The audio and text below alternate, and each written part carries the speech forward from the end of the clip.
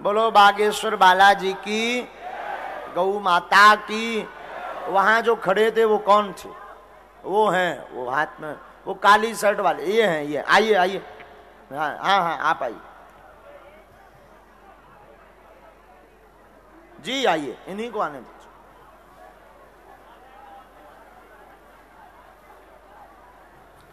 बालाजी, सबकी सुन है, राम राम जपो। आज ना सुने तो अगली बार फिर दरबार लग। अगला बिना टोकन नंबर का दरबार आठ मई से सोलह मई तक लगना है। हाँ, दरबार की कथा। कथा तो दो दिन का दस मई और ग्यारह मई का बिना टोकन का दरबार बीना मध्य प्रदेश में लगना है। हाओ बिराजो। हाओ ठीक है बिराजो बिराज जाओ बैठ जाओ। दस मई और ग्यारह मई। प्रसाद दे दो ना।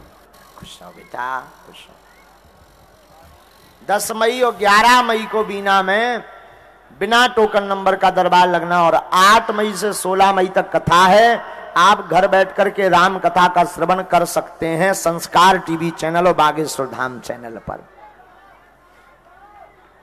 कुछ पाने के लिए कुछ खोना तो आज ना लगे, अगली बार अर्जी लगे।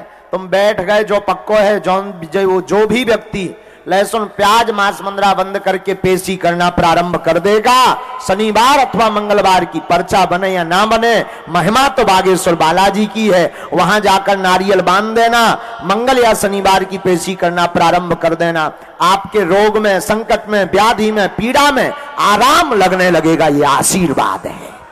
बोले बागेश्वर बालाजी सरकार की। आइए।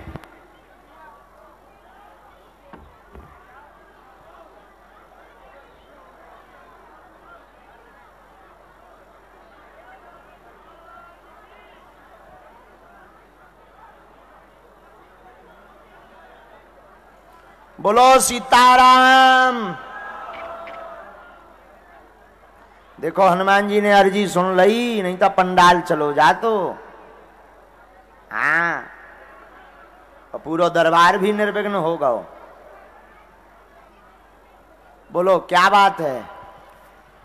तो गुरु जी तबीयत खराब। हो हो जाओ।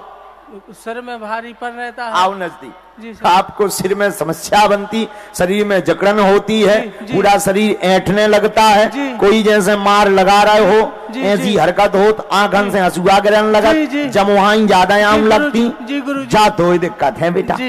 जा। ठीक हो जाए। बोल बागेश्वर धाम की। बोल सन्यासी बाबा की। जय जय श्री राम। सर धंधे कारोबार ऐसे ही चल रहा है गुरु ऊपर भी कृपा हुई है जो देव है तुम्हारे ऊपर। देव बाधा है। जाओ जय जय। हाँ? हाँ पेशी करत रान बार बार आओ बोलो बागेश्वर धाम की सन्यासी बाबा की